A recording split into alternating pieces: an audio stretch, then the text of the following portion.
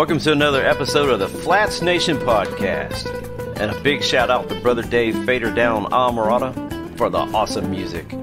You can check out more of Dave's phenomenal work on davidfader.com. This is your host, Dave Legier, and from my old home fishing grounds up in the Tampa Bay area, I'm very happy to have my good friend, Captain Mike Anderson, join us. We're going to discuss fishing, gear, some conservation issues, and some sponsorship related topics at the same time. Sprinkled in will probably be a little radio and TV media business tips, so it should prove to be educational, and I hope you enjoy it. So now, let's get on with the show. Well, good afternoon. Today we have my good friend, Captain Mike Anderson, with us. I have known my brother in arms for quite a while now. I've been a guest on his radio show. That was really fun. It derailed into a political chat as we solved all the world's fishing problems because we were right and many are just wrong. Brother Mike, welcome aboard. It's great to have you with us today. Hopefully we can stay on topic, but I seriously doubt it. How are you doing? I'm really good, buddy. Thanks for uh thanks for having me. I appreciate it. Thanks for joining us.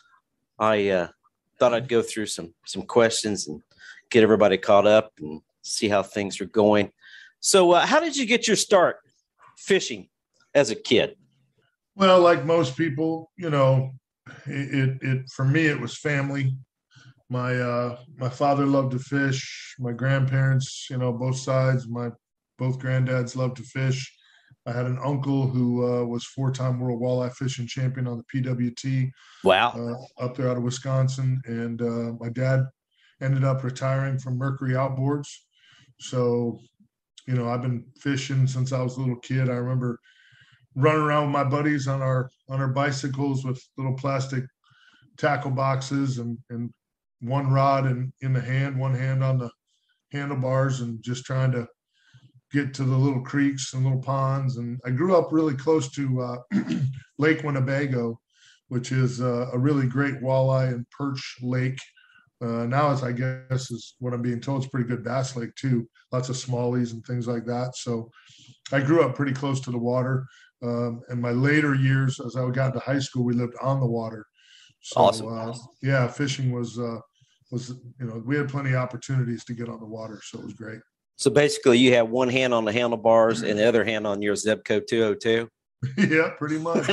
remember pretty when much. you remember when fishing was that inexpensive? Oh yeah, yeah. Heck, I, I, even I think we were advanced. I think I had Mitchell 300s. Wow. At the time. Oh yeah, for sure. Yeah. Oh, the, uh, yeah, no doubt. It's it's crazy how the uh, the sport has evolved. You know, over those you know 30, 40 years. It's crazy. Yeah, and gotten a lot more expensive. Yeah, yeah, just like every, just like everything else. Right. We used to ride on bicycles. Now we ride on skiffs and expensive bay boats. Exactly. It's amazing. So, how did you get your start becoming a guide? And you've been guiding now, what, 20, 21 years, something like that?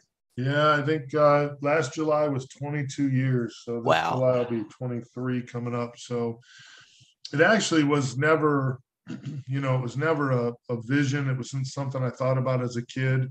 Um, I, I got the saltwater bug pretty bad, and I was fishing, you know, just as much as I could possibly fish. I was uh, running an aluminum company that I had started and, and built up to do pretty well. And um, that afforded me the luxury to have a boat and, um, you know, my weekends pretty much off. And I was either playing softball or I was fishing. And then what really happened was I was spending some time hanging out with Captain Billy Nobles. Um, a mutual friend had booked a charter. Uh, we were buying a lot of supplies from him for the aluminum business, and he wanted to thank us with a snook charter.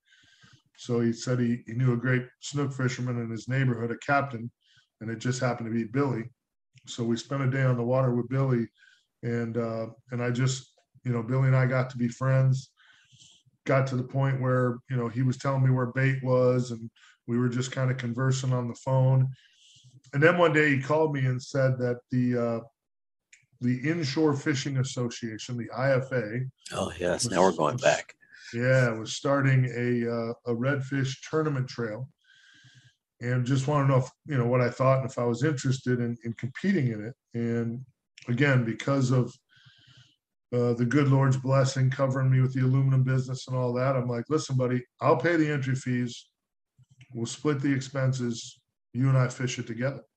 And Billy jumped all over it.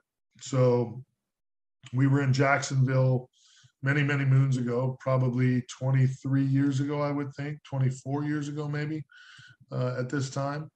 And uh, we were there at the very first one. And, uh, you know, Billy had been guiding for a while. He was in with a great group of guides, uh, Artie Price and Dave Marquette and Jamie Goodwin.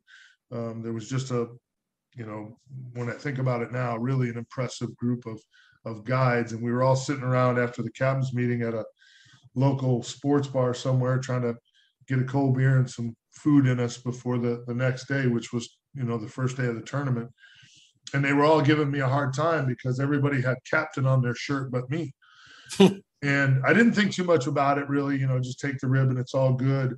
But the longer Billy and I were on tour, the more I could see that it was beneficial if you were a captain. You know, you might be able to pick up a couple sponsors, you know, get some lures and get some things that could help you on the tour. Um, so my initial brain infusion on the on the whole, hey, let's go get our captain's license was really, you know, just to kind of help us out on the tournament scene a little bit. Um, and then as I got my captain's license and then I was fishing and Billy started ribbing me. He's like, hey, bro, you know, I'm giving trips to these guys and then I'm checking with them on the same day I'm checking with you and you're catching more fish than they're catching. And, you know, why don't you just run some trips on the weekends? So the next thing you know, here I am kind of corralled into this thing, running trips on the weekends, running my aluminum business Monday through Friday. Uh, we owned a West Shore Pizza at the time. I was just crazy swamped. Um, my no rest the weary. Yeah, my, my wife was pregnant with uh, with our youngest daughter, and uh, it was just I was just super super busy running, gunning, um, and I did that for several years, and then uh, the aluminum business just got hard. Um, you know, dealing with the counties, dealing with employees. I just didn't want to do it anymore. I had two partners in the business. Uh, we were doing extremely well. The economy was rocking. Things were growing. Um, we really had more work than we had guys to do it, um, and that was part of my frustration. And one day, I just I said, "Hey, I, have had enough. I'm uh, I'm going to walk away, and I'm I'm going to go fishing. I'm to go be a fishing guide and fish tournaments, and I'm just gonna I'm going to go to the water where I'm a little more relaxed." And I'll never forget the look on my wife's face when I came home that day and told her I had walked away from the aluminum business. I was still going to be the license holder, so I still had a little piece of it. You know, they were still helping me out a little bit uh, financially, but you know, nothing that we like we were accustomed to. So right. I was pretty much putting all my eggs in that you know charter captain basket, which you know, looking back on it, wasn't the greatest, probably the greatest move at the time. Um, you know, just really risking everything. But um, you know, it, it's interesting because you, I'm, I'm really spiritual, and I believe that that God puts you in places. He introduces you to people. Um, he sometimes makes you feel uncomfortable, and we don't really know why. We don't know that what we're doing is the best thing, but you know, we're doing a thing, and sometimes it's a thing we like, and sometimes it's a thing we don't like. But in this case, I think that was the path that God wanted to put me on you know, because shortly, you know, after that, the, the, the well, actually, actually, the radio show started. I was still part time, but you know, next thing you know, we're doing radio on Sunday mornings, and you know, then the TV show kind of came into light with Channel Eight, and it just the fishing thing just kind of it looked like I could make it explode if I walked away from the aluminum. So that's what I did. And again, I believe that you know that was a the direction that God wanted me to go, and and that that could, you know, lead me to whatever vision he had for me. I agree. Amen. Now you were a fill-in, weren't you, for Captain Mel before you actually got his show? Well, yeah, and so so just to give you a background, so we were on we were on 620 WDAE, the sports animal at the time, an iHeart station, just like Captain Mel. Captain Mel was 970 WFLA. So we were in the same building under the same umbrella. Mel was on Saturday, we were on Sunday. um, and we were on for, you know, close to 10 years uh, before I got the phone call from Captain Mel. And Captain Mel and I were friends. Billy, we were all friends and buds, and you know, we never stepped on one another's toes. Obviously, we didn't want to we didn't want to do battle against Captain Mel Berman, who had, you know, just literally, you know, three hours of radio on on uh, on Saturday mornings, you know, just untouched. The numbers, the listenership was crazy. Uh, it was amazing. I mean, I went fishing with Mel and I sat in on some of his shows and just, uh, you know, miss him to this day. Yeah. Yeah. Well, he had that, he had that personality. He just did. He was a, he was a professional broadcaster who loved to fish. And that, it, it just, it all came through in his ability to do that show and reach people. So um, which coming up, as a matter of fact, uh, we're we're doing this podcast not to date it for you, but we're actually doing this podcast the week of the 12th memorial of us losing Captain Mel. This Saturday morning will be the 12th year of me doing the show. Mel will have been gone 12 years on Friday. God, where does the time go? Yeah, yeah, you're telling me. So it was kind of crazy because I got a phone call from uh, from Captain Mel um, uh, about I don't know maybe two weeks prior, and he asked me. Uh, he said, "Hey, buddy, um, I got to have some heart surgery, and it's not really a big deal. I'm going to be okay, but they want me to sit out, you know, kind of take it easy for a month." and I said, "Well, I, you know, he said, you know, I, would you be interested in sitting in for me and hosting while I was gone? And of course, you know, just the fact that Mel even mentioned it was mind blowing to me. Um, you know, through the start of my radio career, it was my goal was that when Mel retired, I would know that I had done a good job if if the people at iHeart interviewed me or considered me for the position. Right, right. Now that doesn't mean I wanted the position, necessarily because I have it's, it's some big shoes to fill. That's for sure, brother. Well, yeah, and, and I, I have not even thinking like that. Just thinking, I already got a show on Sunday. I damn sure don't know if I want a show on Saturday right. too. So, um, I, I I mentioned I'm like, listen, Saturday's a big charter day for me. I really, you know, I don't know if I take the whole month of February off and not making money. And they were like, no, no, no, dude, we're gonna we're gonna pay you. And I'm like, well, heck, February, man, let's go, friends. I'll, you know, I'll take the money. Let's let's rock and roll. I'm honored you'd ask me. So anyway, the, the Friday before the first Saturday, which would technically be this Friday coming up 12 years ago, um, we were in a meeting. Billy and I were in a meeting with News Channel 8, a huge meeting, a lunch meeting with the GM at the time.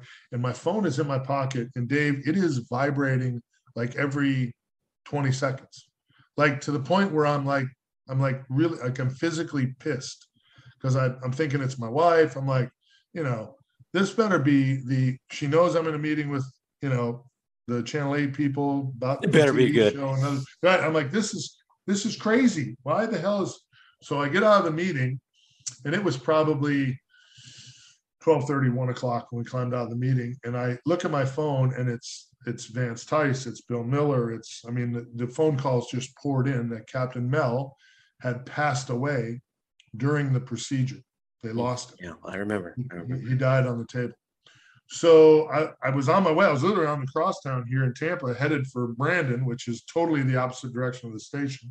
I literally got off at the next exit and worked my way back to uh, iHeartMedia there. And I walked in the program director's office and I thought he was going to throw up. He was like, Oh my God, thank God you're here. I can't believe you're here. And I'm like, well, I didn't know what else to do. I'm like, I'm supposed to do the show tomorrow. What, what are we going to do? And just at that moment, uh, a guy by the name of Dan DiLoretta, who was the GM there at the time, who was a great man, a great GM, just a, a we're friends to this day, great human being, great fisherman. He uh, he walked right in the office, didn't sit down, didn't say hello, didn't do nothing, pointed right at me and said, "Hey, can you do the memorial show tomorrow?" And I, without blinking, I said, "Yeah, sure." Yeah, no problem. We'll get it done. And uh, they were like, okay, well, there you go. You got it. Handle it. So I immediately called Bill Miller, called Vance Tice. I wanted to surround myself with incredible people that could that could help me through this because I knew this was going to be bad. Mel Berman, Mel Berman helped so many people, so Yeah. many guys, so Myself many included. Oh God, Dave, it was it was a three hour show at the time, and it was the worst three hours of radio I've ever done in my entire life. Um, crazy.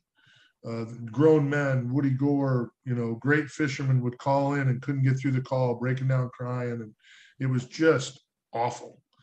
Um, we had phone calls for three hours straight. And anyway, I signed off, and then when I signed off, I broke down. Um, got out of there, finally went to sleep because I, I, I obviously didn't sleep at all Friday night. And um, Monday morning, I got a call from Dan DiLoretta's secretary that Dan wanted to see me in his office Tuesday morning, nine o'clock, if I could make it. And I said, Yeah, yeah, I can make it. And I uh, I walked into Dan's office Tuesday morning, and he said, "Listen here, Chief, I'm not interviewing anybody else. You need to take this job." and I said, "Well, I I got to fish on Saturdays. I mean," and he's like, "Listen, get your wife on the phone, come up with a number. I'll try to make it happen." So I, you know, called my wife and said, "I, you know, what about, he wants me to take this show full time." So and and and it all worked out. We ended up, you know, I gave him a number. He jumped all over it, and you know, 12 years Saturday. Uh, we Amazing. have- we'll- yeah, we will have been doing the Saturday show, the Sunday show, and April 1st will be season 16 of Reel Animals TV. So uh, I, I I often I I don't I don't know what exactly why God has me here, but other than to just try to reach people in a in a positive light, um, Amen. you know, through through fishing, and uh, and and just you know, I I I, I really don't I can't I can't put my finger on it, Dave. I don't I don't understand all the blessings. I'm not sure why it's all come together, but I'm sure enjoying it. Well, I remember that was probably one of the hardest things I have done, other than being in the military. Uh, taking Captain Mel's phone number out of my cell phone at that time, Yeah, you know, buddy. because it's like it's like a closure, you know, and it's it's kind of hard to explain. But Mel and I were friends, and we got a chance to fish a couple of times, and it was just, you know, it's just hard. It- it's just hard. Um, so now, how long have you had the the TV show? Reel Animals has been on for season season 16 ca and i flats class we started this same year. So we're both on on for me um i'm not sure when ca starts his season but my season will start april 1st so i will be season 16 will launch april 1st so it launches second quarter for me. So again you know just a, a ridiculous number. You know that's that's a whole nother crazy story. I mean just how that whole thing evolved and how it happened and getting to spend 10 years at news channel 8 doing the show with them. We did 222 episodes in 10 years there. Well. um, yeah and then i just to, to just be perfectly honest i just got tired of the whole you know corporate scene pretty much. Um, it- it's just tough to work in that environment. And uh, so you know i, I was going to shut it down i was literally going to walk away after 10 years and just say you know the heck with it I- i just don't know that i'm going to i'm going to pursue this and my camera guys from news channel 8 said listen buddy you know, we do a lot of shows. We think you're pretty good at this. Um, you got a good following. You know, maybe you should find your own production and just do the show yourself, which is what guys like C.A. Richardson and Blair Wiggins and Sure. Murphy, they've been doing that for years. Um, and I actually got CA on the phone, and CA kind of laughed. He's like, "Mike, buddy, you, you- you're everybody loves you. You're you're popular in the industry. You're a good guy, dude. Get a production team and do it yourself. It's it's easy. I've been doing it. So you know those people talked me into trying to get it rolling. Um, I didn't have a boat sponsor at the time, and and in order to do it on your own, you know, production costs and things like that, buying the airtime on the on the networks isn't cheap. No, it's expensive. CA and I have talked about it. It is not cheap at No. all.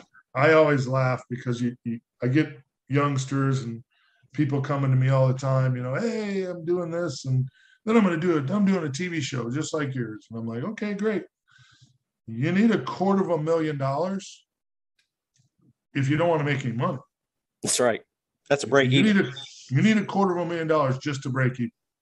So it's it's not little. And, and anyway, my I, I wasn't sure that I'm looking at my financials and I'm like, I, I, I can do it, but I can't make any money doing it. And my wife's in my ear saying, well, maybe year one, you don't make any money. And I'm thinking to myself, I can fish a charter every single day. I'm not, I'm not doing this for free. I'm just not going to do it. 10 years of my life dedicated to it. If it doesn't help me pay the bills, I'm not going to do it. Um, and I needed what I needed was I needed a boat. I needed a boat sponsor. I needed a big sponsor, one big sponsor lick to make it make sense. And um, I, I, was so sick and so worried about it, Dave. It was crazy. It was just driving me nuts. And finally, I'm like, you know what? I'm going to uh, I'm going to put this at your feet, Lord. I'm going to let the good Lord handle this. If you want me to continue doing the show, reach people in a positive way, all that good stuff, then that's what I'll do. If not, then obviously you want me to go down a different path, and that's where we'll go. No big deal. About two weeks later, I was at an event out in Winter Haven with uh, my good friend Captain Rick Murphy, and Rick was at the time was tied to Contender Boats, and I had mentioned to Rick, I knew he wasn't Contender Bay Boat, he was Contender Big Boat because he's Pathfinder Maverick guy. Correct. And uh, I was like, hey, what's the deal with that bay boat y'all got over there? And Rick lit up like a Christmas tree. He's like, hey, this is what we'll do for you. We'll do this, we'll do that. We need you to run the boat every day, blah, blah, blah, blah, blah. We'll get you hooked up, no problem. And I'm like, huh? Really? So about a week later, I text Rick and I said, hey, you know, what's the next step? And he didn't, he just texted me Joe Neber's phone number, the owner of Contender Boats, and said, call Joe, it's a done deal. I got Joe on the phone, and Joe said, "Hey, I'm I'm going on vacation uh, next Wednesday. Uh, Rick Murphy loves you. Uh, I called the marina here locally in Sarasota and talked to my dealer there, and they love you. And I didn't even know who Erickson Marine was at the time, but it was Erickson Marine. And he said, then I went online and I see you're offshore and inshore. Now I love you. Get down here before I go on vacation. I want this deal done.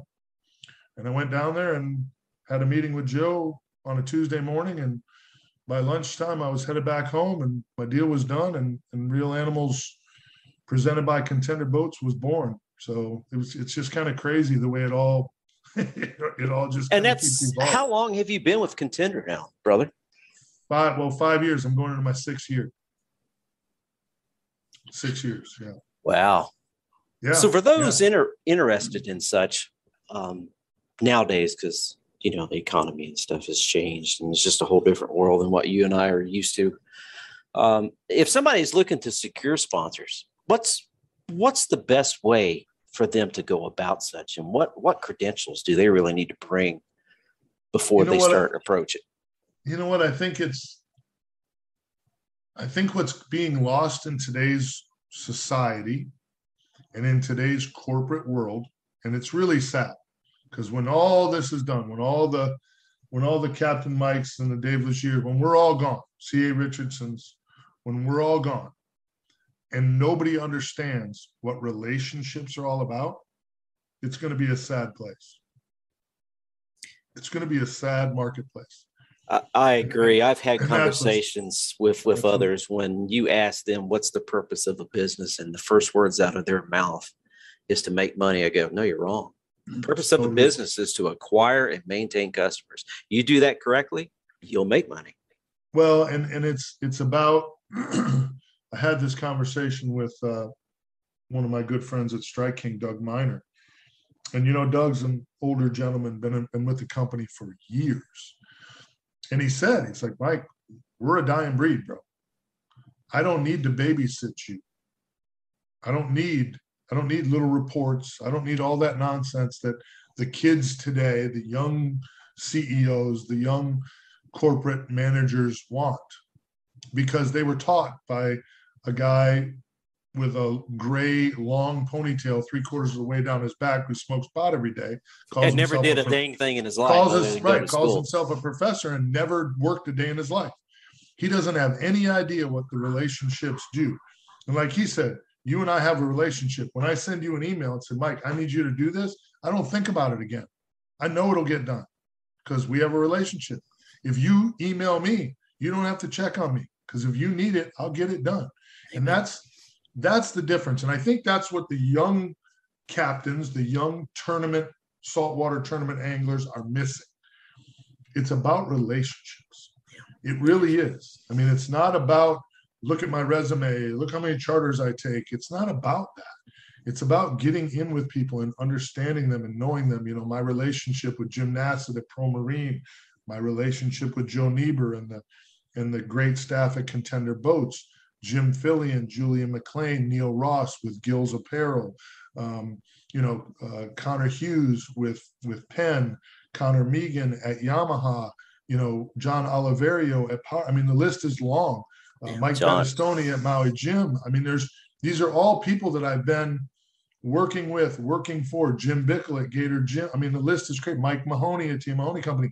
These are all relationships, and at some point in these relationships, they've needed me to do something for them, and you have to be able to do that. You have to want to do that. Um, you know, working with the tackle, some of the tackle guys. You know, um, uh, uh, Charlie Reynolds is a rep, and and and I've said this before. Um, I love I love working. Chris Dawson is our rep at Bull Bay Rods. Great rep, and I love working and helping guys like that make their money because they're good people. Um, you know what I'm saying? I mean, I've always said that if I had to do this, and and I'm, if if I was working for like partners, and I call them partners, not sponsors, because in reality, that's what they are. They're oh, they are. Partners. You're growing their brand, and they're helping you grow yours. It's a it's exactly. a collaboration, and I think if if I'm working, and I've done it, I've had sponsors only for a year usually, where halfway through the year I'm like, you know what? I don't like you people. Like your product's okay, but all you people in the office, you're just not great people. You're just the owner of the company is just an ass, pardon my French. And then if the shoe fits, brother. I'm just saying at the end of the at the end of the year, I'm like, you know, I don't want to do that again. And I know there's money attached to it, but I'd rather go to work in that particular category for a company, you know, uh, Bob's Machine Shop. I mean, all these people that oh, they're you know, great. Steve, yeah, Steve Polini over there. They're just great people. We're friends on Facebook. I care about their kids and their families. I want to do well. I want to sell Bob's Machine Shop jack plates to help them out. Dan Gallagher at Rolls Axle. I want to sell Rolls Axle trailers so it helps my friend Dan Gallagher. That's that's what it's about to me. I mean, and yes, those it's the relationships. I agree. I mean, I was just talking to Steve uh, myself the other day. I mean, it's just great people to work with, and it's what it's it, to me. That's what the industry is all about. It really it is. is, and a lot of the youngsters don't get it. They they think because they're a guide and because they ran 220 trips last year, by golly, somebody owes them something. They don't owe you nothing. No, they, they don't. don't owe you nothing. It's not the way the world works. And unfortunately, that's just kind of the mess we're in. And I think some of the new corporates, some of the new CEOs, they just don't get it. They just don't understand that that's not going to work. It's just not going to work. No, it's all about the relationships at the end of the day. Yeah, for, for sure. Speaking of which, I know you've been involved with several conservation groups. Um, which ones are you working with nowadays, and what improvements have you seen because of those efforts? I know you and I had this discussion in the past about them opening up sea trout for a recreational take, which I, I, I didn't agree with that at all, and I'm I'm kind of surprised that it's still in place. But which ones are you working with, and and and what improvements well, really have you seen? Here, here's I think here's the issue. I think you know I'm, for those people that know me and those people that don't, CCA for me, Coastal Conservation Association is doing a great job especially doing a great job with what they have to work with. If you think about this, in the entire country, there's like 340,000 members of CCA. In the entire country, not in Florida, not in Texas, not in Louisiana, the entire country. And now we have CCA, all, especially it's real heavy, Gulf Coast, East Coast, right. Georgia, the Carolinas, you know, there's chapters of CCA in a lot of those places. And I've said this on the radio show, I've said it on the Florida ICAST, I've said it at every seminar I can think of for the last, ever since I figured it out. You know as well as I do that if you're a gun owner there's a, a contingency of people in this country that do not want you to have your guns. No. And if they could take them, they would take them. You know why they don't take your guns? Because the politicians know that there's 6 million members of the NRA. That's just members of the NRA. That's right. That's just guaranteed 6 million gun owners. Now, you and I and everybody else out there that's educated at all knows that there's way more than 6 million guns on the streets. Oh, this is true. And I think one time I, I saw a report where just the deer hunters in the United States alone was like the third largest armed army on the planet. For sure. 100%. That, that's people really need to, to equate that. 100%. So I, I've said it before. The reason that the conservation efforts by some of these groups don't work is because the recreational anglers as a whole, charter captains included, are are just we're just lazy. We not do not united. get involved. We stand on the dock and bitch and piss and moan about all the issues going on in our waterways and we don't like that CCA did this and you know Captains for Clean Water did this and blah blah blah blah blah blah blah blah blah. Shut up and put your money where your mouth is and get involved. And again, I, I was guilty. I was super busy and I was getting an invite to the CCA banquet here in Tampa every year. Well, if you get an invite to sit at a table, you get a free membership. So I'm on the radio barking that everybody should be involved, and I wasn't even spending my own money. Well, I fixed that because I came home one day and said, you know what? I can't do that. I can't do this like that. I have to be, I'm going to be a life member. So I wrote a check. I wrote a thousand dollar check to be a life member of CCA.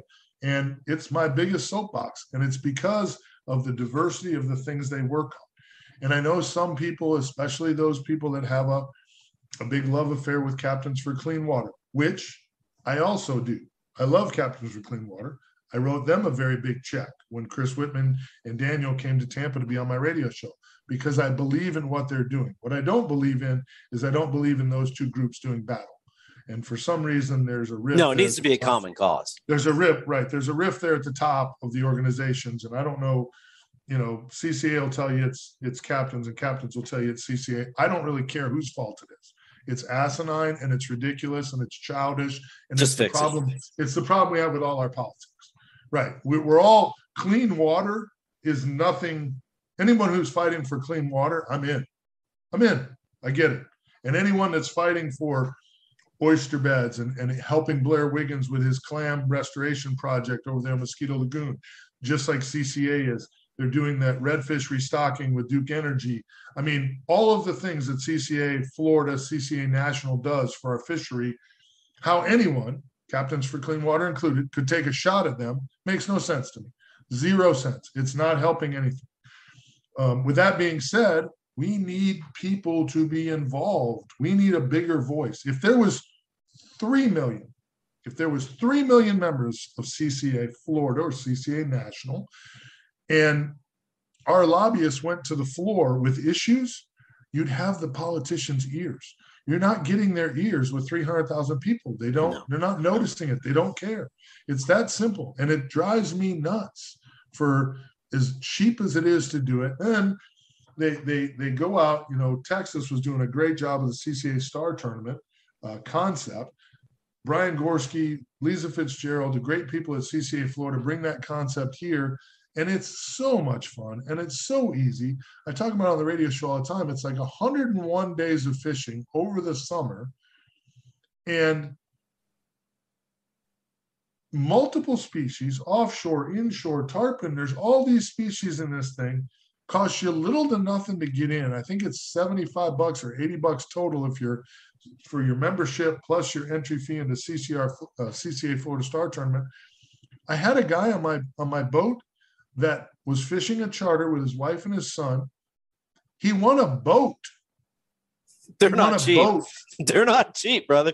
He won a boat. I mean, I'm like, I was totally freaked out. I showed up at the Star Banquet. Here's this family waiting to get on the trolley to go to the banquet from the hotel that we were all staying at. And I'm like, what are you doing here? And he goes, remember that speckle? We were catching redfish one after another out of this big school. And he catches like a 23 inch trout out of the middle of this school of redfish. And he goes, hey, uh, do you mind if I put this in the CCA Star Tournament? I don't have a trout registered yet. And I laughed. I'm like, of course I don't mind. That's awesome. Go ahead. He won a boat. Amazing. Dude won a boat. You know, I know Jerry Bergeron, who won the very first truck that they gave away. He signed up at my outdoor expo at the Tampa Fairgrounds, at the Florida State Fairgrounds. I'm sorry, here in Tampa. And I mean, there's winners. Uh, people actually win stuff all the time. And you're going to go fishing all summer anyway.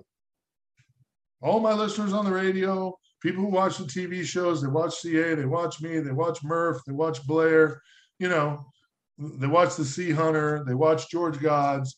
They're all ate up with fishing. You're going to fish all summer anyway. You're going to the Keys, you're going everywhere.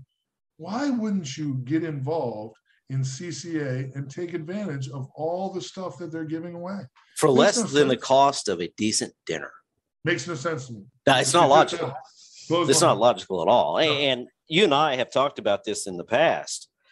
I just don't think people realize how big recreational fishing, when it comes to dollars and cents, is here in the state of Florida alone. Yeah. I mean, we should be able to get just about anything accomplished because of the, uh, I mean, billions of dollars it is. It's getting to be. It's it's amazing.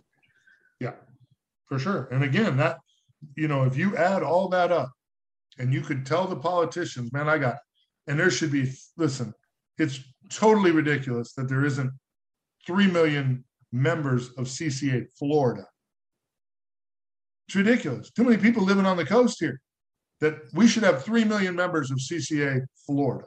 Just their you, efforts on the net ban alone. You and I both remember that battle.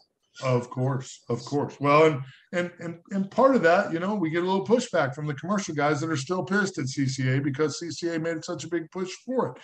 But if you're, and again, the bad part about that was, you know, there's good commercial guys that there didn't is. drop that didn't drop their nets on, in front of creeks in February that they knew were choked full of of redfish and trout.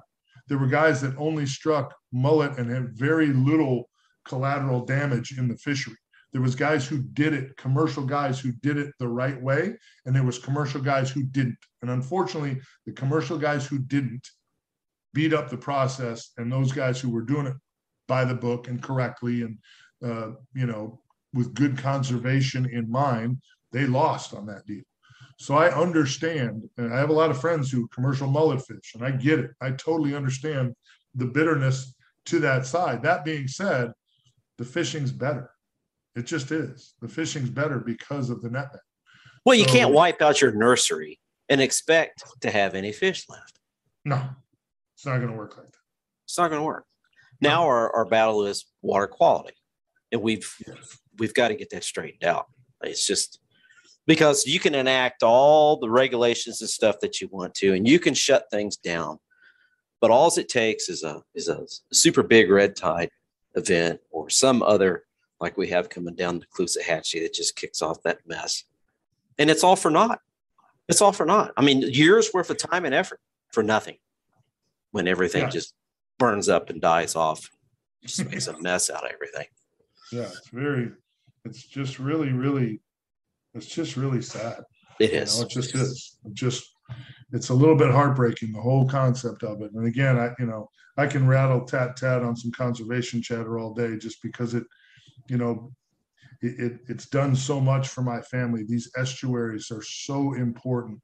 Um, and again, my hats off to to CCA as an organization for doing so many great things. You know, with so little. Work, yeah, with so little, and they work with so many great organizations. Tampa Bay Watch, you know, working on seagrass right here in my backyard. They do, you know, they're dropping these giant concrete, you know, uh, pyramids all over offshore, making artificial reefs, you know, uh, replacing ones that are getting deteriorated because of time. Um, you know, there's just a lot of great things that CCA does for, and again, people are busy. I get it. I don't have time to go to Tallahassee. I wish I did because you know, at 6'5", 270 pounds, I could probably scare some politicians into making the right decision. No, you don't want to go to Tallahassee, brother. yeah, I'd be in, I'd be in jail. You'd be in jail. I know, I know. But but when you know what I'm saying, I mean, I'm glad that they go and I'm glad they do what they do. And for me to pay, you know, 35, 40 bucks a year membership dues for them to do that for me, to me just seems like a no-brainer. Well, the return on investment is just phenomenal. Yes, for sure. 100%. Okay, so now we've beat up all the politics, and and we're right again. Let, let's get over to fishing. Okay. Let's talk gear. Okay. Talk to me about what brands of tackle are you using and and sponsored by, and how have you seen that gear improve over the years? Uh, well, let's start with Bull Bay rods for sure. Um, and to give you some background, Kelly Phillips, the guy that started Bull Bay Rods, was was wearing me out, trying to get me to come on board. And I was I was in a contract with a company. Um, I was having issues with. Perfect example of me telling you halfway through the year, I'm like, you know what? I just don't even like you people. I was breaking rods, and um, it was just it was just a mess. Um, so I knew I was going to make a change at the end of the year, and Kelly came up to me and he was like, listen, I know we're small, but I want you to take two of these rods and just try. Let me know what you think. Give me your feedback. So really cold day, miserable. I told the guys like, listen, we need to cancel. The guy's like, hey, I took the day off. We can't cancel. I want to go. Okay. So it's blowing 30, cold as hell out. I'm fishing with shrimp. We're catching some trout and small snook and some residential canals, trying to hide from the wind. And the boys are two guys are off the front of my boat and i grabbed one of the prototypes that kelly had handed me. I threw a shrimp on it and i pitched it out the back of the boat under the dock. And dave i could feel the shrimp moving in the water. You know how shrimp kind of kick? They do. kick you could feel it i knew exactly what that shrimp was doing and the minute i felt it i thought uh-oh um, that's intriguing. That's that tactile feel is worth that's a lot. a feeling I've never felt before. These guys are onto something with this blank. Something's up here. So I played with it throughout the day and was just amazed. I got off the water. I got my truck. I was headed home and I, I called Kelly and I said, Hey, buddy, um, I don't want you to sponsor me. And he's like, Oh, uh, did you not like the gear or what? And I said, No, no, no. No, gear's pretty good. I want to buy in. I want a piece of the action before you before you get too big. Because I don't know what you did to that blank, but that's the most sensitive blank I've ever used. And then as Kelly was walking me through the process of kind of getting to where, you know, he got, it was over a couple years playing with different blanks. Kelly Phillips was a kayak fisherman who had won a IFA kayak championship. And as you know, most kayak anglers know you do a lot of high sticking in a kayak. And he was just having issues with every brand of rod he could buy was blowing up on him and he hated it. So he started building his own. And then he was still having some problems with some blanks he was buying. And finally he decided, I got to build my own blank. I need to build my own blank. That's not going to blow up. This is what Necessity I want Necessity is the mother of invention. you bet. So he dove in and came up with this particular blank, this system of building blanks and it is just taken off. We're in 200, 250 stores right now. Uh, West Marine, uh, we had our best year ever last year. Last year we were with the Banshee series was uh, best in show at ICAST in the saltwater rod category. Uh, so that you know, that to me, you know, the offshore stuff we use, guys like Jim Nassett, one of the you know best kingfish teams in the country. They use all of our blanks. Dylan Hubbard at Hubbard's Marina uses all of our blanks. Um, some great fishermen, Ozzie Fisher, Jamie Goodwin, Rick Gross. You know, they're all Bull Bay pro staffers and love the rods. Um, and we don't have a giveaway program. We have a we have a pro staff program where you buy at the same price that the dealers pay for the rods. Right. That way we don't we, that way we don't upset any of our dealers giving guys free rods or whatever. Um, so they're not super cheap. Um, you know, you, they could get cheaper rods, but you know what we offer in warranty, what they offer in you know, quality to put in their customers' hands is, has been outweighing all that. So we're pretty blessed there. Um, I was a quantum guy for years. Quantum has just recently went through some issues.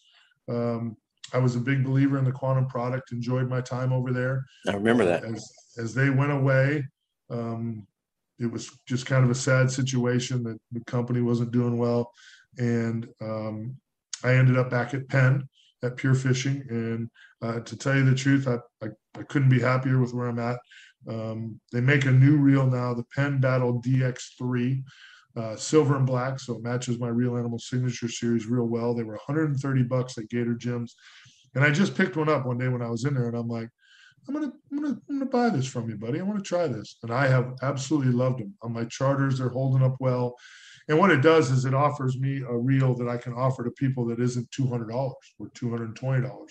You know, it's a very high quality reel in that 130 dollar price point, which is a lot more affordable for people. Um, and again, it's still an expensive reel. Don't get me wrong. Um, but good, I believe good whiskey costs money. If you get too cheap a reel, they're just not going to hold up. No, they're just going to implode. Yeah, yeah. So especially with all the fishing that I do, that's the part I was really impressed about. I used a, a, a full set. I used four Penn Battle DX3s for a full year last year and never lost one. And that's a lot of hours, but most people don't realize Captain Mike is on the water a lot. Yeah, yeah. And with if you mix in the filming and you know, we we we battled some big fish on those battle DXs and they held up. So I'm a big fan of that. I'm a big fan of the Spiderwire Ultracast Invisibraid. I have been a Spiderwire guy for many years.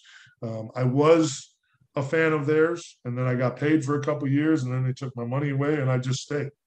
I didn't go find a new line sponsor because I really like the Spiderwire.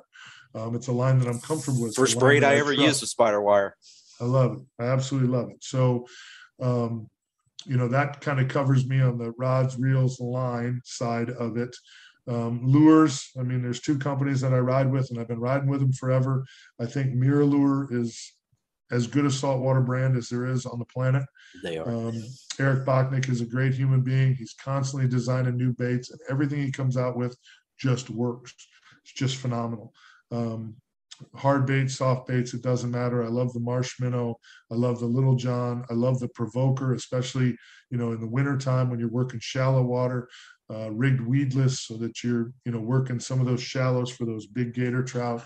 It's a great bait. Obviously the MirrOdine, she dog and top dog and all that stuff. The top water baits are phenomenal. Um, they make a great MirrOlure 25 plus diving plug that catches the heck out of grouper when you're trolling. Um, Strike King Strike King saltwater line is not huge. Um, I wish they would add some things to it. I'm being told that they are going to.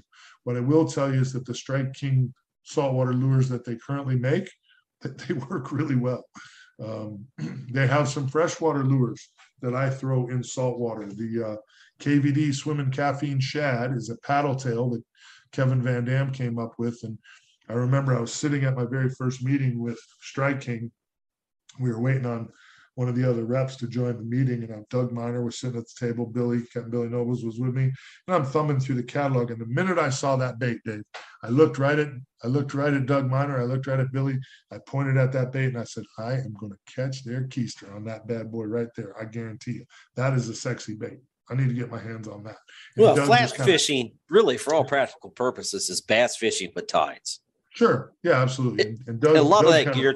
I have a box full of gear that I've used that was originally designed for freshwater because the size, the profile, the vibration, it works. Yes. Yeah, for sure. The, no doubt. The and, colors and, are natural looking. And the, you know me, I don't fish on the dark side. I don't use that. Right. I don't use a natural bait, which is the politically correct term for live bait. I don't cheat that way. I use all artificial. So there is a lot of that out there that really it, it just works. It just works. I totally agree. And, and the sad part is the the freshwater guy crosses over really well. He'll grab a saltwater bait and try it in freshwater. The saltwater guy, for some reason, avoids the freshwater section. I don't know why. Not everybody, but a majority. And I don't know why. It's like a horse baits, of blinders on for in those, a lot of cases. I don't know what the deal is, but those baits cross over really, really well. Really well. So you know, on the apparel side, you know, the, the, the stuff they're doing at Gillz now is especially now they, they hired a guy at, at Gillz Apparel, Gillz Gear to, they hired a guy from Under Armour. Uh, Julian McLean is his name as their head designer. And the stuff that he just broke, I just got a box yesterday. The stuff that he just, I mean, and I'm a huge, I'm a big time gym rat. I'm, I'm in the gym just about every day. And I was going to ask So you I'm about that. I'm an Under Armour guy. Um, my wife will tell you I got way too many Under Armour t-shirts and sweatshirts and this, that, and the other. I'm a huge Under Armour fan. And the minute I put on the new gear, I looked right at Julian and I said, dude, this gear here is gear that I'd wear on the boat and to the gym. It's that comfortable. It's unbelievable. The fit, um, the styles, I was just blown away. Um, the material changed. We had good material before, uh, but Julian kind of took this thing, the whole Gillz thing to another level. Um, so that's really interesting to me. Fish Monkey Gloves is another company I've been working with that I really believe in. You know, um, 30 years of fishing now, you know, pretty hardcore and and never, you know, always wearing sunscreen, but never really thinking about my hands. You're in and out of the live well all day long. You're releasing fish. That salt water just takes that protection right off your hands and your hands are getting cooked. You know, you're not you're not rinsing your face with water, you're not rinsing the back of your neck or your ears with water to wash that sunscreen off, but your hands, you're rinsing them all day in the saltwater environment. So um, Tim Mossberg, who used to be with Mojo Apparel, uh, that's how I met Tim. When he started Fish Monkey, he gave me a call, and boy, what a great, great tool that is. Makes has made a huge difference. And I go see my dermatologist every year, and the amount of stuff I have to have, you know, cut off my hands every year, stuff that he or she looks at that they're not that pleased with has almost gone away because long sleeve Gillz shirts, uh, you know, sun protection there, and then with the fish monkey gloves, it's it's really made a big difference. Plus, all you you lose a lot of the cuts and scrapes that you get in a saltwater environment anyway, so your hands just feel better, which is a nice thing as well. Well, this is true. I've always worn half finger gloves because I may make three, four, five hundred casts in a day. So my hands are parallel to the sun. Sure. And when my sun, you know, when the sun just burns my hands, party's over. I'm done. Right. The rest of me For can sure. be cooked and I can turn that nice shade of red thanks to my, you know, Native American background. So I turn a nice shade of maroon. But when my hands are cooked, party's over with. I'm done. I, Yeah. So I've always, I've been a big fan of those, of half finger gloves. I just think that they're, they just make a huge difference. You know, I don't wear sunscreen. Uh, I wear it. I wear it in my clothing, which I think works just so much better because it doesn't block up the pores. You're not Sure. dealing with the Yeah. with the heat process. So I I've you and I have even fought over a, a shirt one time. I still have it. Uh, It was an Orvis shirt, and uh, you know it's just amazing how a quality materials can make a difference in your day fishing and staying cool and being productive for sure. It makes it makes a huge difference. Talk to me about sunglasses. You still working with and sponsored by Maui Jim, if I'm not mistaken? I have been a Maui Jim guy for years. Um, and, and to tell you the truth, um, it, it, it, especially through COVID, uh, they were one of the companies because they're on every continent. They're a company that took a real beat down. Um, you know, across the US and our platform, the outdoor, outdoor market has done really well. Yeah, exploded. Fishing tackle, yeah. I mean, companies can't even keep up. But for Maui Jim, a lot of that stuff that they were, they, they do a lot of business here, but they do a lot of business overseas. You know, Australia, all these places. Well, COVID obviously hit all those places and, and messed up some of those places real bad. So, you know, they there was a point there where they were like, listen, we just we can't support you quite the same way we've been supporting. you." Um, and and most guys would jump ship because there's other brands. You could go do something else. Maui Jim makes the best pair of sunglasses on the planet. Period. They do things to their lenses that no other company does. It's real simple. It's it's all in the patents. There's a ton of them. It's stuff you can look up. Um, they they have the best, bar none, the best warranty of any company I play with, and I play with companies that have great warranties. And my wife had a pair of glasses. True story. She had a pair of glasses for like Dave, I want to say she had them for five or six years. Yeah. Just this pair of, you know, love. She loved these glasses. She breaks them. And I said, babe, I got, you know, six or eight gift certificates in the office up on the desk They're Just order a new pair. She's like, mm, I'm going to call them. I really like this pair. It was $10 to get them fixed and sent back. 10 bucks. Amazing. And she broke them. It wasn't a defect. It wasn't an issue with that. Right. It wasn't understood- defective material workmanship. It was Nope, ten bucks. Ten bucks to fix them. Once you're a Maui Jim customer, they want you to stay Maui Jim. And I just I haven't found a lens that does for me what that lens does. Now I'm not saying that some of the other companies don't have good lenses because they do. But when you add in the the warranty, the quality, the relationship, again, Mike Battistoni, I've been there 15 years. You know, I just I just can't walk away from that. Are you using a different lens when you're fishing the flats versus fishing near or offshore or I just- almost always, I almost always wear the same lens. I like their HCL bronze lens uh, a lot for shallow water. Um, they've recently come out with a couple other lenses. They've never had a mirrored lens before. Now they do a blue mirror um, on some of their styles, which is very weird for uh, Maui because they don't like to do anything to the lens that will distort clarity. Uh, and I've heard a lot of bitching and complaining over the years. Well, I would go Maui, but I like the mirrored lens. I like the mirrored lens. I like the mirrored lens. So that's why they do Costa or whatever. Um, well, and that's why Maui was finally like, okay, here's we're going to do this, but we're going to do it our way.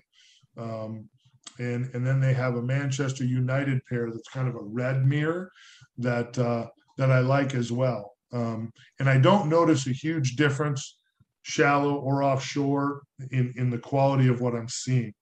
Um, if I was fishing a redfish tournament for money, I would wear HCL bronze, which you know I have several pairs, so just flipping from one pair to the other is easy. Um, and if you were going to buy one pair of glasses and you're listening to this, I would tell you to find the frame you like, and I would tell you to order it in HCL bronze if you're an inshore guy. That's the lens to have. Period. and it doesn't matter to you if that's low light or noon. well, they make and they make a low light lens now too. Um, that's really interesting again. But Maui Jim makes an expensive pair of glasses. Can you afford multiple pairs? If you can, then I would get a gray pair, an HCL bronze, and then I'd get their low light version as well because on a cloudy day it pulls light in and it really pops. Um, so that would be a bonus too. And again, I've been with the company a long time. I've got all those versions at my disposal. But if I had one pair of glasses to put on every morning to go fish, period, it, it would be something with an HCL bronze lens. I think that's our best lens overall for fishing. Well, I agree. You know, I, my discussion with Captain Travis over in the Bahamas, so we were talking about fly fishing. You and I both know fly fishing can get exorbitant when it comes to rods and reels and line. And I don't think it necessarily has to be, but it they can. So being able to keep everybody to be able to get something that's quality and it works and it's not a deal breaker, I think is is is critical in this market. Yeah, for sure. No doubt. Makes a big difference. Good stuff's got to work. So all the time that you spend on the water, both guiding and fishing tournaments, what is the biggest mistake that you see people making? Patience, lack of patience. 100 percent easy question to answer. It's a lack of patience, and I've said for years I understand it. You're in your office, you're in your truck, you're on the job site all week long, grinding, thinking about getting on the water and getting on that school of redfish. And when you get there and you see a school of redfish, that's when you need to take a breath, slow down. You found them. You're on the flat. Where Well, they that's the hardest thing is finding the fish. You're on the beach where all the tarpon are. You're, you know, slow down. Slow down. I have an old saying fish do not, at least to my knowledge, I've been doing this a long time, they do not eat out their butt. Okay? You have to present the baits properly. And in order to do that, you need to take your time. If you spook them and then chase them, that party is over. It's Oh, over. very quickly. I don't know how many times I've had people on a boat and I keep telling them, I go, look, the prey does not chase the predator. Right. Presentation is the key. It's everything. It's everything. It's a simple game. You've got to do it right. You just, um, you just, you, you, have to get that presentation correct. I've been on the beach many times, looked at my customers and went, watch this. Those two boats are chasing them tarpon and they're coming right at us. Watch. Pitch a crab out right in that line and the look on those faces of those people on them other boats are like, we've been chasing those fish for three miles. How come they just ate for him? Because you didn't present the baits right. That's right. I'm looking at the captain. They're like grumpy with me. I'm like, dude, you're an idiot. You don't even belong doing this. They don't eat out their ass, dude. You're chasing them down the beach. No, you can't do don't. that. You can't do. They can't don't. do it. Can't do it with redfish either. They're not going to eat out their butt. You got to present that bait so they swim into it, and that's across the board. That's the biggest mistake people make. Is just they're just not patient. You got to be patient. Just Some don't are gonna be good. understand the predator prey relationship. I think Mhm. is is a big part of it. That's for sure. Some for days sure. are going to be good. Some days are going to be bad. That's just the way the game is played. You know. That's why it's called That's it fishing. works. Yeah, for sure, hundred percent. Let's talk boats now. You've been with Contender for a while. What do you feel is some of its strong suits? And give me a couple of weak points because you and I both know there's no such thing as a perfect boat. But what do you like about running the Contender versus what you've ran in the past? Well, I think, I think you hit the nail right on the head. There's no perfect boat. Like if you're in a perfect world, if you're gonna, if you're gonna fish tournaments or, you know, if I was gonna go back on the tournament scene, I'd want two boats. I'd need a bay boat, like my contender twenty-five, and then I'd need a skinny water boat, you know, like a Chittum or maybe even one of the Texas style boats or something. I don't know. But I mean, that's, you know, there's, in my opinion, for what I do, there's there's no limitations in the contender 25 bay. That's what I love about the boat. Um, and I tell people if you look at the 25 contender bay, you may not like the layout. You might look at it and go, eh, I don't really like the way this is laid out. And I get that because all boats are laid out different and everybody's tastes are different. But if you want a boat that is the best riding bay boat I've ever been in, in choppy, nasty stuff, if you want the driest bay boat I've ever been in, that floats relatively skinny for a 25 foot bay that I can stretch offshore for kingfish and you know run across from one side of Tampa Bay to the other in you know two to threes. It's the the bottom of that hole. Joe Neber has it figured out. Period. It's soft. It's dry. It's unbelievable. I can't tell you how many times my customers when I tell them, hey, it's going to be a little bumpy running across today, but that's where my fish are. We need to run across. And you make that run, they sit down the whole run, don't even stand up. And then when you get across, they look at you and go, that's unbelievable, dude. That's unbelievable. I've been in the boat filming with pros from other companies that have looked at me and went, I don't know how to say this, but this boat runs better than mine. I thought mine was the best. I'm like, I don't know what to tell you. I've been a lot of different companies. I was Action Craft, I've been Dorado, Yellowfin, Skeeter, Century when Century was doing bay boats. And the 25 Contender Bay is hands down, far and away, the best riding bay boat I've ever been in. Now, inside, yeah, if I could get in Joe's ear, I'd make a few changes, but nothing that to me is is a major issue. Uh, the boat does just about everything well. Um, I just like it. I really do. Um, so Well, I know you load it down with natural bait. You've Oh, got sure. cameraman on there. You've got. Uh, do you, I don't think you have a tower on it, but you do have a, I a do. T, I do. Have, I do have a You do have T tower. tower. Yep, T tower. Yeah. um, and you're running a big Yamaha on her. What is she drafting when you have her loaded full of fuel? And It's a true. It's a true 14 inch boat. You'll see people that advertise their bay boats as 14s that really need 17. This one's a true 14, 15 inch boat. If you're full of fuel, four guys, a charter captain, live wells are full. It's a true 14, 15 inch boat. Just what is. about the hull? Does it? I, I've been There's on some in the past that just popped and cracked. And I asked No. one guy one time, I said, Have you ever caught a snook off this thing? Because it makes so much noise. We might as well be pitching grenades out here. No, and what I, what I worry about more than the creaks inside the boat is I worry more about hull slap.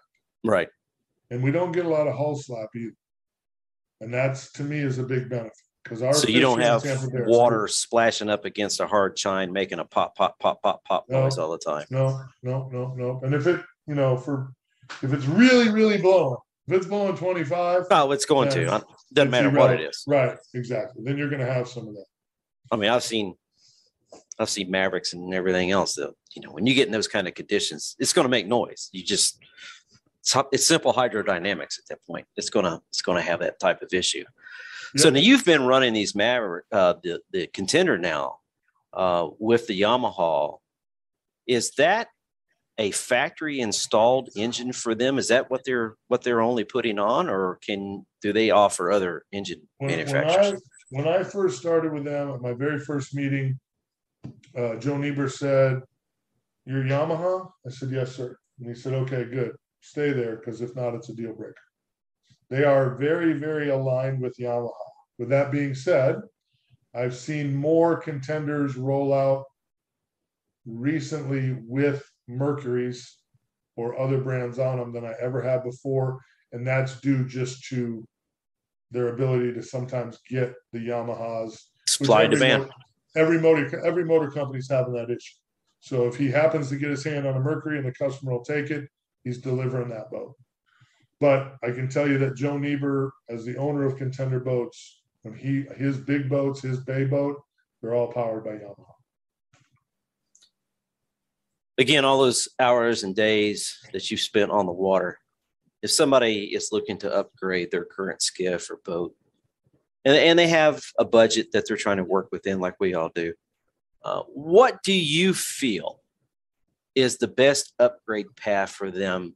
Let's say fishing the flats. Um, you feel a power pole or a trolling motor, or, or maybe is there something else that you've seen and worked with that would add good success for them, you know, return on investment. Yeah, I, don't know that there's, I don't know, there's, there's, there's three things that I wouldn't want to live without. And there's, all three of them are made by the same company now. You can't get your hands on part of it yet, but it's coming. Um, and that's power pole on the back end, to me, is a no brainer. Especially if you're a skinny water guy. Always had one, always will.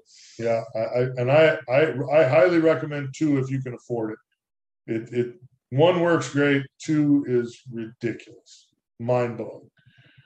Um, there's also, to me, it's also important that my boat stays charged. While I'm running, I'm running, you know, two pumps, maybe a stereo, running electronics, upper station, lower station. I want to make sure that, that my batteries stay charged so we can get home. The power pole charge is a phenomenal new tool.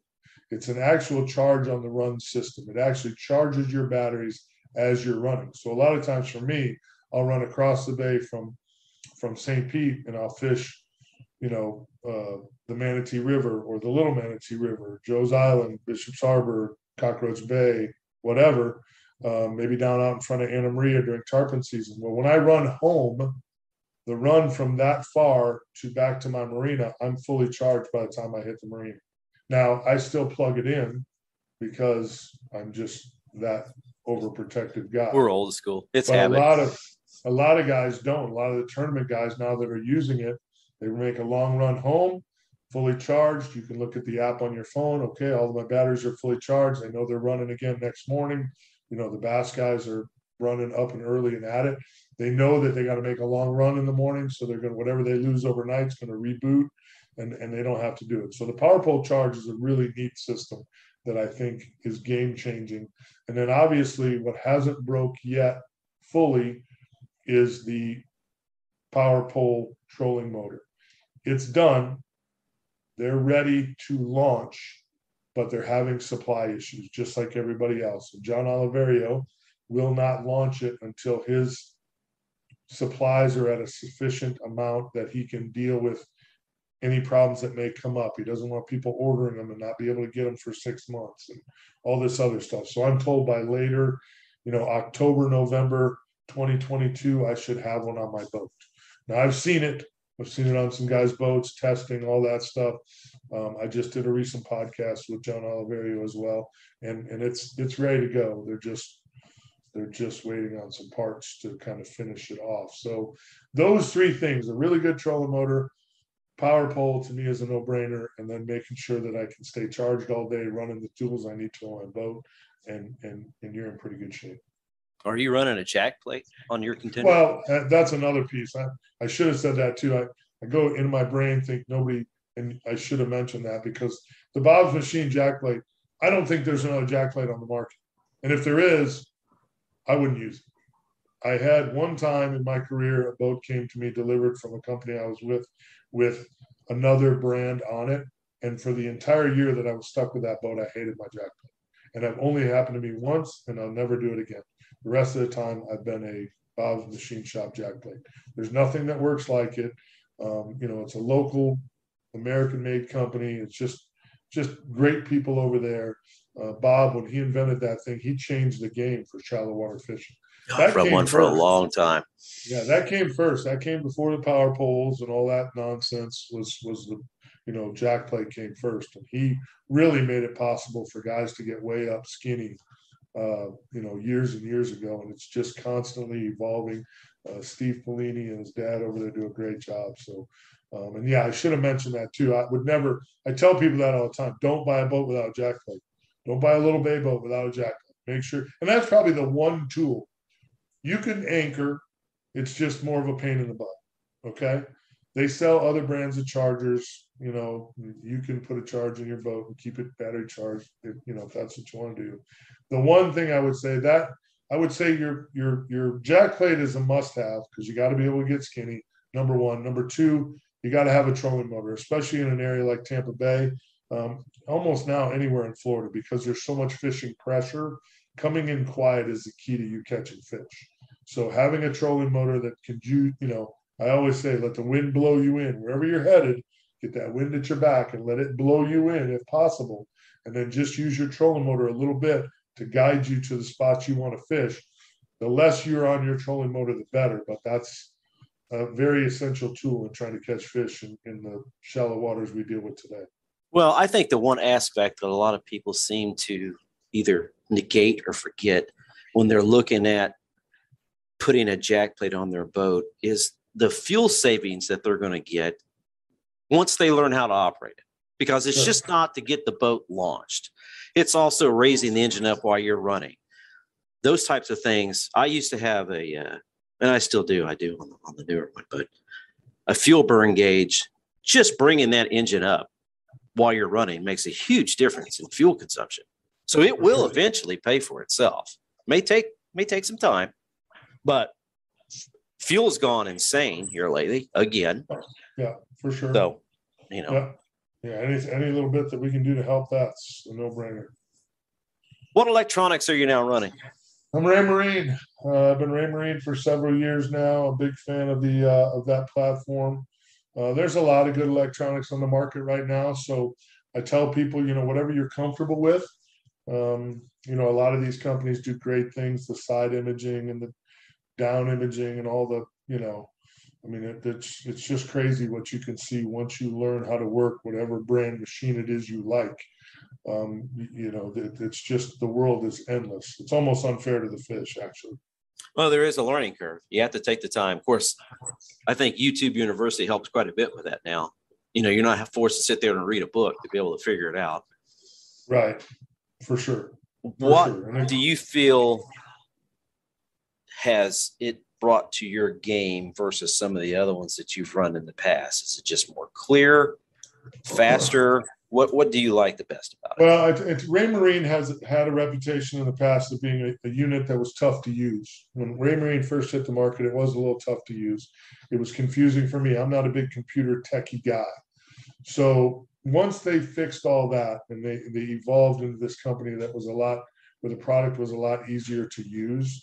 Um, that has that has really helped them get to kind of you know where they needed to be as a company um, you know, they've got some new radar coming out that's supposed to be mind boggling. I haven't seen it yet. I haven't had a chance to play with it, um, but it's supposed to be just unbelievable. So I think, you know, that's, that's kind of a cool thing that's kind of, kind of hitting the market, you know? Um, so, you know, the, the, uh, the side imaging, the, the things that you can do now with Axiom, the the 3D sonar imaging that you get at the bottom um, is is really ridiculous. I mean, it's ridiculous. So, you know, it's like I said, a part of this to me is almost, you know, it's almost illegal. It should be illegal. I mean, it's I look at my system and I'm like, God, there's just nothing that we can't do with this. And and it, I mean, it's giving you so much information um, at just the click of a button. It's uh, it's it's it's just it's mind blowing. It really is. I mean, and and again, it's I, I'm not sure that it's not a little unfair. I mean, I, I don't I, I don't know how the fish stand a prayer. Dave. I really don't. I mean, with what we can do now, side vision, you know, the the 3D imaging on the bottom, where you're actually being able to map out every inch of the bottom. You can see fish that are suspended. You can map out an entire pass and see where you want to drift through that pass. I mean, there's the tools and toys that they're putting in these machines now are endless. It's crazy. Well, just knowing which docks to pitch up under, so you're not For wasting sure. your time pitching it under a dock that has no fish. Hundred percent, hundred percent, and that's all what I about say. I mean, yeah, it's it's it's really it's really gotten to be ridiculous. How many hours a year are you running on your Yamaha? And I, I'm going to assume that you're getting a, a new contender every year or every other year. Yep, every year. Yep. Um, I I probably, I mean, to be truthful, I probably sit at 400 hours, maybe, which maybe doesn't sound like that much, but I run most of my trips out of the south end of Tampa Bay, so I don't put on a pile of hours running my boat on the charter side.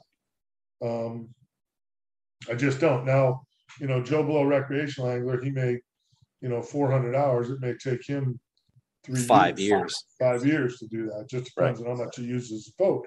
I know some charter captains that'll, you know, they'll put on with the with the radio shows on the weekends, the TV show, all the commitments you have with that, ICAST, the Miami Boat Show, and things like that that just keep you off the water. You know, I'm probably running still 100, 150 days a year. That's uh, still a lot of days. wise. Yeah, it's still a lot of days. I try to run three days a week when possible. There's some weeks where the weather doesn't allow you to do that, and some weeks you got to run four or five days. Just depends on who's in town. So, you know, it's just it's all part of it. But I, that that that would be between 100 and 150 days. 150 days a year is kind of what what I'm on the water now. Do you personally sell your own rig at the end of the year if somebody wanted to purchase it from you? Uh, my and and the boat that I'm in right now that I'm running daily has been gone since four months before I picked it up. And the boat that I'm picking up here in about a month and a half, two months, my new one is already sold. They're already The gone. demand on the market is just amazing these days. It's crazy. It's crazy. just insane. Yeah, totally crazy. But you know, part of the blessings for sure. This is true. So now, if somebody wants to go fishing with you. Mhm. Should they bring their own tackle, or do you have pretty much everything rigged out? Yeah. I, I handle all the tackle. I'd rather people not bring tackle. Um, I have all the tackle. Um, I go catch fresh bait in the morning, so I tell people just bring whatever you want to eat or drink, sunscreen up, and show up. That's all there is What- to it.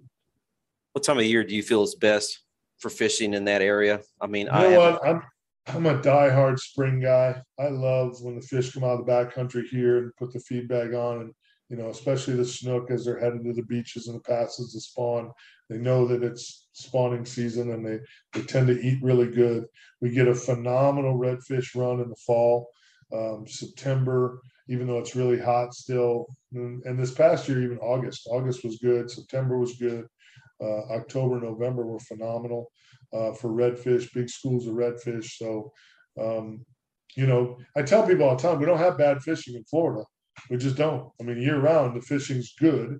Depends on the weather, you know, and obviously in the wintertime, we have more fronts and stuff like that. So, you know, you lose a few more days in the wintertime than you do the rest Very of the true. year. But yeah, but, but it's, I mean, we always can catch fish. If I had to tell you, hey, you know, I want to catch, I want a 50 snook day and I want to catch a couple redfish, maybe a flounder, I would say, let's get you booked for May or June and we'll catch them up. They'll go crazy. So, you know, but there's really not a bad month. I mean, you know, April, excellent month if it's warm. Kingfish are here. You know, there's there's just you know May and June is tarpon season. Um, we catch mangrove snapper all over Tampa Bay, just really big ones in you know July and August. Uh, early September, that snapper bite's phenomenal. Giant sheephead this time of year. Grouper fishing, uh, even though gag grouper season is closed right now, is phenomenal. Catch and release gag grouper inside Tampa Bay is ridiculous. Uh, so there's just always something to do here, always. If somebody's wanting to go on a charter with you, I'm sure you deal with this quite frequently. What gear items should they bring? And probably more important, what should they not forget to bring? Well, I mean, you know, I always think it's good to put a poncho, a rain jacket, or something in your bag. Again, extra sunscreen. You know, maybe some uh, some some lip sunscreen as well. Um, but you know, whatever you like to eat or drink, and and just get on the boat. You know, a good charter captain should have water and and ice on the boat ready for you. Um, I got customers that are like, "Hey, I'm going to be fishing. I don't eat when I fish, so they don't bring anything to to munch on, which is cool too." So, um, you know, try to stay out of boots. I'd probably say the one thing that gets me the most is my my country boys, my hardworking guys that show up and they're wearing the same boots that they were on the job site yesterday. Um, No. and that's a little, that's a little tough on the deck from time to time. a little more Exactly. A little more scrubbing we got to do. I got aqua traction in my boat, which uh, is, in my opinion, the best marine flooring on the market, and uh, it cleans up pretty easy. But a little more elbow grease needed if I got you know black marks from some black sole boots in my in my boats you know all day. So that can be a little troublesome. But other than that bro it's it's pretty low key and pretty simple. Since you mentioned aqua traction, how has that been helping on the knees since you've been running that? yeah that's the game changer for me is is just at at, at 53 with all the time on the water that i spend to to have that option in my boat is is a blessing i noticed right away and, and what happens is i take delivery of my new boat and then it takes my guy ben fort uh, southern tide customs it takes him a little while he's got to measure my boat and you know so i'll go sometimes a month where i'm running trips again without it in my boat and then when i get it back and it gets installed man Night day just- difference. Oh, it's unbelievable. It's unbelievable. And there's a lot of people jumping in the marine flooring business. And, you know, if you see my social media posts and stuff like that, all marine flooring is not the same. No, it's it's just not. not. It's just like just like anything else. There's good and there's bad. And and aqua traction so far for me has been phenomenal. The stain resistance, the stain resistant quality of that material to me is mind blowing. It looks just like the day we put it in. It's crazy. Now, you, you know, there are days you got to scrub it a little more because you got kingfish blood on it or, you know, whatever. Customer stuck himself with a hook and now we got customer blood all over it, you know, dog or uh, not dog, but bird, bird poop, you know, from sitting at the marina. And sometimes they're eating berries and other things and you got some funky stains. You got to scrub a little bit with some simple green, but it all comes out. And that's really all that matters in that world. So um, it's pretty cool stuff. I'm a big fan. Lastly, when you're not in the gym, and that's something I want to do a follow on show with you so that people learn how to fish harder and longer. Yep. Yep. And I, de- I definitely think that's a piece of the puzzle. It Being in, is. sh- being in shape at 53, I can fish pretty hard still because I spend a lot of time pushing my body a little bit. And I think that helps for sure. How can uh, someone best reach you to set up a trip? Oh, they can give us a call. Um, uh, I have a toll free number that comes straight to my cell phone. It's 1 866 Game Fish. And I know you'll probably look at Game Fish and think, well, that's too many letters, but it doesn't matter. It'll still still ring through to my phone. Um, so that's probably the best way to reach me. I do stay, normally I stay about three months scheduled out. Um, but the good news for me is if you're coming to the Tampa Bay area, I've got about 35 full time guides on staff who um, fish for me on a regular basis. I've got a bunch of charity tournaments that I host and um, some hotels that send me all their business and I, I farm them out to my guys that I know are full time, fish for a living, going to work hard, put people on fish, are good with kids, you know. Um, so that way, as you know, not every day is a, a covered in fish day. Um, so if you only catch a few fish, but your charter captain showed you a good time and, you know, all that stuff, you still have a something to take with you uh, as you head back to wherever you're from. I think that's important. So I can always get I can always get you on the water with one of my guys if I can't take you. Awesome, brother. I appreciate you spending some time with us today to help educate everybody and love it. We need to do it more often. We need yeah, to get back on the water too. Amen to that. Amen. And uh, thanks for joining us today. Give everybody our best, and uh, we will chat soon. I appreciate you, brother. I really do. Thanks for the opportunity here and uh, tight lines to all your listeners. Thank you, sir. See you, buddy.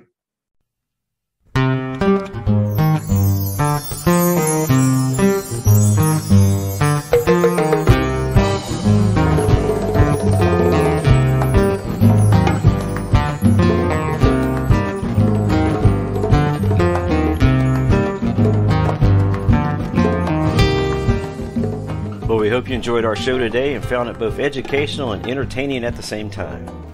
If you or your company would like to join the team on Flats Nation for a podcast or other coverage, feel free to drop us a quick note at info at flatsnation.com. And now, here's the rest of the song to run the skiff back home with. Tight lines and God bless.